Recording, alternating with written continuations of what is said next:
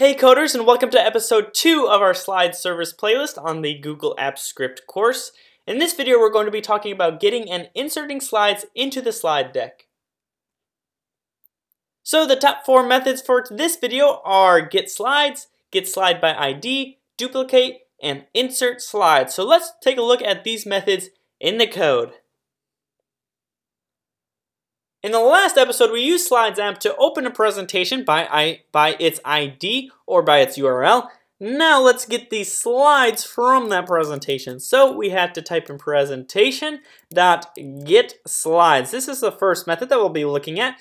As you can see, it returns an array of slides. So if we logger log this, and we hit the semicolon, we hit save, we hit run, let's look into our presentation again. So I've made a few changes. This was the presentation again that we've created in episode one, but I've added on four more slides. One is red, one is blue, one is gold, and one is green. So we should have five different slides that are now returned to us when we say get slides. So let's view our logs. And here it is right here. So all five slides are now in an array accessible to us. That is cool. So let's just comment that out for now. Well, let's say that we wanted to get a specific slide. Well, we could get that through the slide ID. So if we say presentation dot get slide by ID, here's the method that we want to use. And it takes in a string called ID. Great. So how do you get the ID of a slide?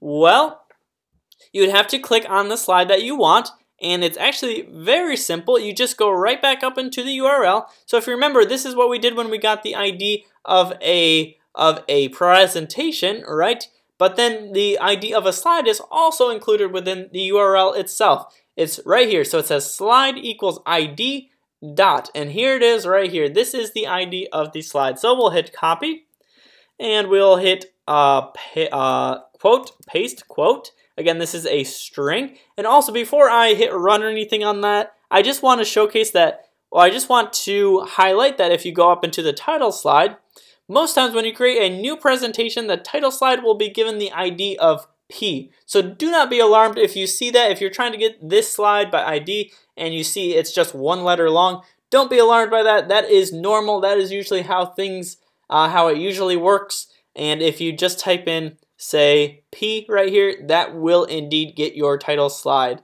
Great, so if we hit now save and run, let's just see if this is going to uh, give us back our slide, but I'm pretty sure it will because there were no errors.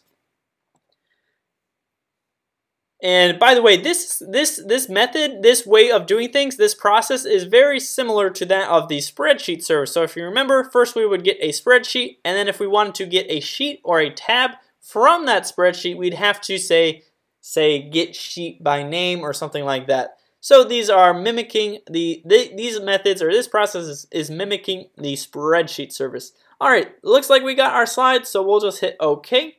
And let's move on now to the next method. So we have gotten slides right here, right? We've got slides here. We got a slide by ID. Now let's say we want to insert slides. Well, one way to easily do that is just by duplicating them. So instead of logging this now, I'm going to store this slide in a constant, call it slide. Alrighty, and now let's say we want to use that slide. Well, we could, or let's say we want to duplicate that slide. So we could hit dot and then the first method is duplicate. This is exactly what we want. So we'll hit now save and we'll hit run. And what that's going to do is it's going to take all the data from this gold slide and basically just duplicate it right below it. So here was our gold slide, our original gold slide with that ID. And basically what it did is it just took the gold background, the, the data in here, the, the, the formatting of the text, everything, and it duplicated it to this new I uh, this new slider here, and it's kind of cool because if you look at the ID, you get it says Slides ID or Slides API, which is kind of cool. That's a different uh, type of ID, so you kind of that kind of is a dead giveaway that this was made by a program. Alrighty, so that is duplicate. So if you want a little bit more flexibility, though, with inserting slides, you don't want to duplicate it, you want to actually have a little bit more control, what you can do is you can use the method of uh, insert slides. So let's get our presentation again. And let's say insert slide. And as you can see already, there are a lot of optional parameters. One, there's one for layout, one for predefined layout, one for slide, one for linking mode, a lot of stuff. This video is not about any of that stuff, so I'm just going to breeze through all of this stuff and then maybe in a uh, a future episode we'll go a little bit more deeply, but I'm just going to, I'm going to cover it all, but I'm going to cover it very briefly. All right, let's use this first method right here. So insert slide, it needs a a parameter called insertion index. This is basically where in the in the slide deck do you want to insert your new slide. So let's say we want to insert it right after this blue slide. So we know that this blue slide is 3. It is slide 3, so let's say 3, and this is what that 3 means. It means after which slide in the slide deck, in the presentation, do you want to insert your slide. And since we're not specifying anything else, all it's going to do is just insert a blank slide. As you can see here, there's nothing here but that's okay. You can always add more stuff if you'd like. All right, so now let's take a little a little look at all of the other um, methods that we have, or all the other optional parameters. So one is layout. So this is, again, this right here is just a blank screen. But let's say we want to give it a layout. So these are all of our layouts right here. We have title slide, title only, main point. We even created some of our own custom layouts. So uh, they're not very exciting right here, but I just needed some custom layouts. And the way, again, to do that is if you went to the master, again, here are all of your layouts that you can use. And then you could just say create new layout, and you could create a new layout for yourself. But we're not going to do that. Again, this video is not about creating layouts. So let's just um, move on. All right, so that would be the layout. If you had a layout that you wanted to use, you could you could put that right in here. So the next one is the predefined layout. So this is a little bit more strict, but let's say, again, so all of these named ones right here, like title slide, section header, title only, those are all pre-made. So these, when we created this presentation, all of these were came with it. All of these were pre-made, and those were those. That's what's called a predefined layout. So let me actually just show you that because I feel uh, compelled to. Um, let's see where here it is. Predefined layout. So if you hit the dot button this is an enum. You can see that all of these are predefined. And if you want to use a layout say the title in two columns layout this was already made for you. So AppScript knows exactly what you mean when you say this. Alrighty so that is predefined layout. Let's move on to the next one. The next one is going to be uh, insert slide with a slide. So let's say you really liked uh, this red slide right here but you didn't just want to duplicate it and put it underneath it. You wanted to put this red slide, say after slide uh, 5 right here in between these two gold slides.